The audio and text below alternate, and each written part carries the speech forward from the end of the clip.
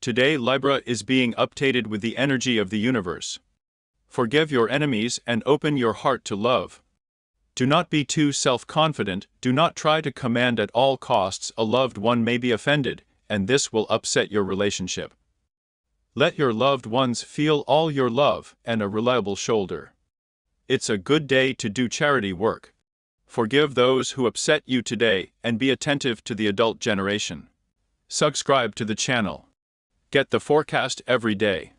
Join us on Telegram, link in description.